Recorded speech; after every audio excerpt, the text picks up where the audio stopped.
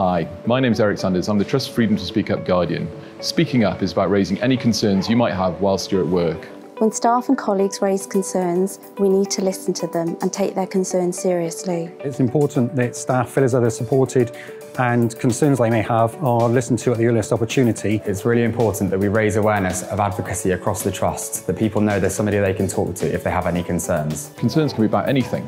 They may be about patient safety, your work environment, colleagues not following policies and processes, or a bullying culture. It's not about who to blame, it's about how we can do things differently.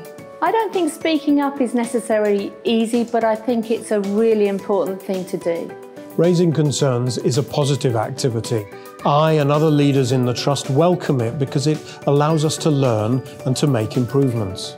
Wherever you work at the Trust or whatever you do, if you're hearing or seeing something that isn't right, And if there's something in your workplace that doesn't sit comfortably with you, You should speak to your line manager or supervisor as they're usually best placed to help resolve any concerns that you may have. If you don't feel comfortable speaking to your line manager or supervisor, you can contact the Freedom to Speak Up Guardian via email, phone, or the Happy app. You can contact any of the advocates, look out for the green lanyards, and you can find out more details on the intranet.